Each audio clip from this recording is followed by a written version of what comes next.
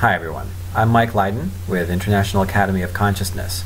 I'm here today to interview Massimiliano Sassoli de Bianchi, who's going to be a speaker at the first International Congress of Conscientiology, which means consciousness science from a post-materialist and multidimensional point of view.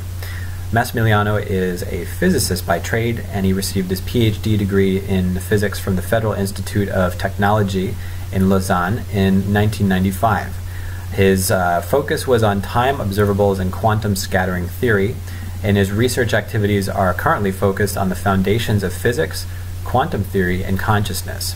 Massimiliano has written several essays, popular science books, children's stories, and has published numerous research articles in international journals, both in physics and the study of consciousness. He is a, is a life member of the American Physical Society and the American Association of Physics Teachers, as well as a full member of the Society for Scientific Exploration and the International Academy of Consciousness.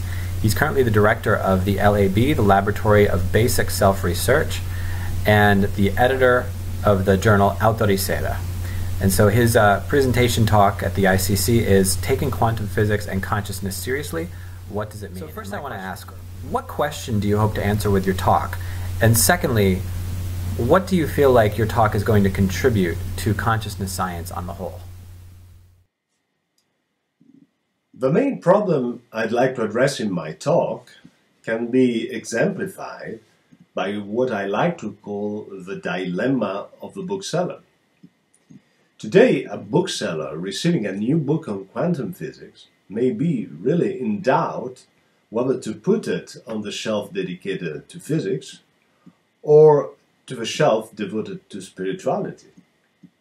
And this, I think, perfectly illustrates the confusion often existing among laymen, of course, but also among some experts regarding the fundamental differences of certain fields of inquiry, such as modern physics and spirituality, and more specifically, quantum mechanics and the study of consciousness.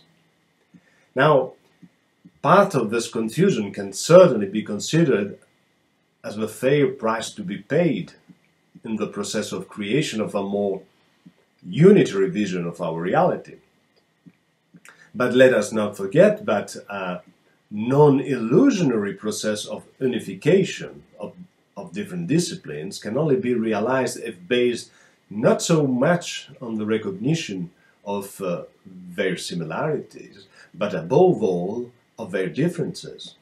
As only then it becomes possible to build solid bridges between them and promote a truly interdisciplinary vision and sometimes even a transdisciplinary vision. I think that the loosely defined concept of quantum consciousness, today quite trendy by the way, perfectly exemplifies this difficulty.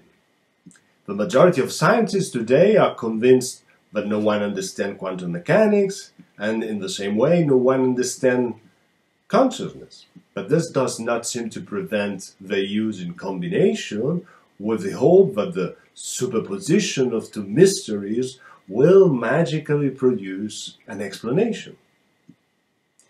Now, let me be clear. I do not mean by this that uh, quantum physics will be unable to promote a better understanding of the phenomena of the consciousness, and vice versa. However, I am convinced that this cross-fertilization will become possible only to the extent that both fields will be taken with due seriousness. And in my talk, I will try to explain that to take quantum physics and consciousness seriously means to fully address the challenges with which they confront us in their specific ambits, and then accept without biases the world visions that follow. And once we have done that, uh, then we can certainly consider the similarity that are shared by both quantum physics and the manifestation of a consciousness. Uh, explore this similarity and try to understand then if they are only apparent or the expression of a deeper isomorphism. One of the goals of my talk is precisely to highlight the importance of this methodological approach and its consequences in our attempt to construct a more complex and I would say more mature vision of our reality.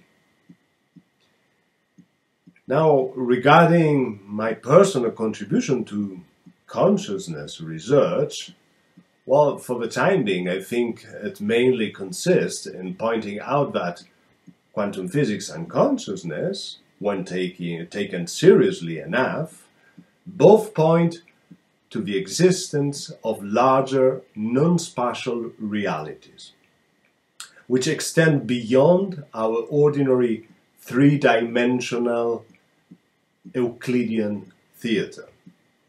But also that this doesn't mean necessarily that the quantum extraphysical reality and the consciential extraphysical reality would necessarily be the same, as, by the way, is often assumed. Also, uh, my contribution is about pointing out that uh, the recent progresses in so-called quantum cognition, which has nothing to do with the theory of the quantum brain, and the recently proposed conceptuality interpretation of quantum mechanics, uh, they can possibly shed some new light onto the nature, the mysterious nature of those non-ordinary reality that we are able to experience when we are in more expanded states of consciousness. And this, by the way, is something I will also try to explain. All right, Massimiliano, thank you for your time, and I will see you there at the campus. For more information, check out the links below. Thanks.